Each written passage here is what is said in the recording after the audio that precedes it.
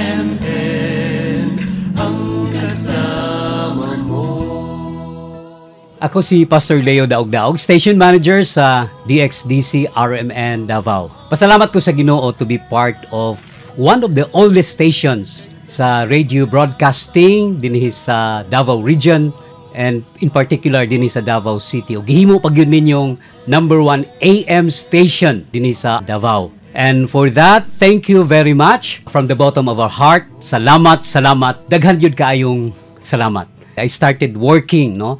dinhi sa DXDC as a reporter, a newscaster og uh, news writer and announcer mga tuig to 1999.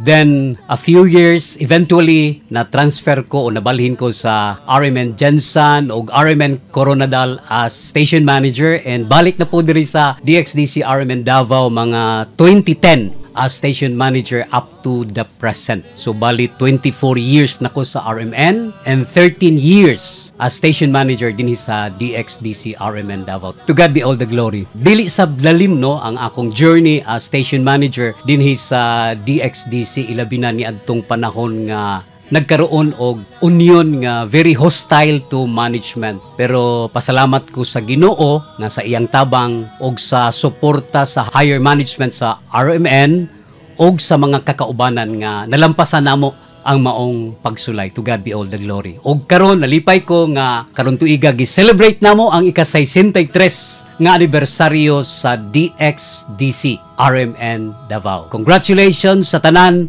mabuhay ang DXDC, RMN Davao ug sa kanunay dalaygon ang Dios. RMN ang kasal